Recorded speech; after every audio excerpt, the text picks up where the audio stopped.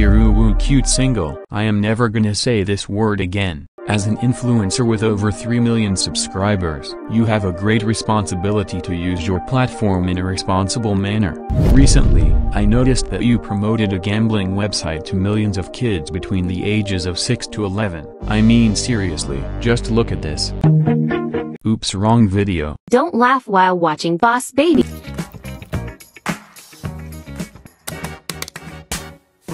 Yeah, it's that bad.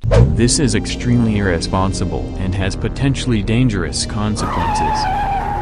Gambling, especially among children, can lead to addiction, financial problems, and other negative consequences. I can understand the financial reasons for accepting such a sponsorship, especially since YouTube Shorts may not be the most profitable.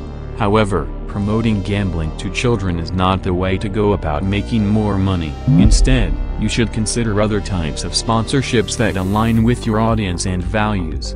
For example, you could consider working with educational or family-friendly brands, or creating merchandise related to your content. Or maybe use your platform to raise awareness about the dangers of gambling and the importance of responsible use of social media.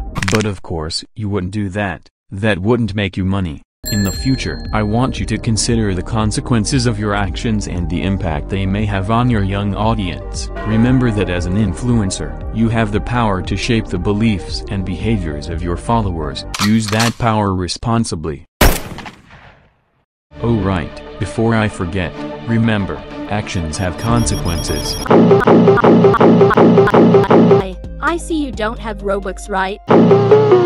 I can help you. Just subscribe right now for Infinity Robux. Ah.